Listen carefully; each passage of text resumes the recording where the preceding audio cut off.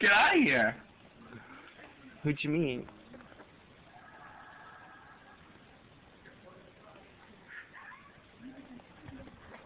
He's such an ass. Look looks so good. What'd you take it off?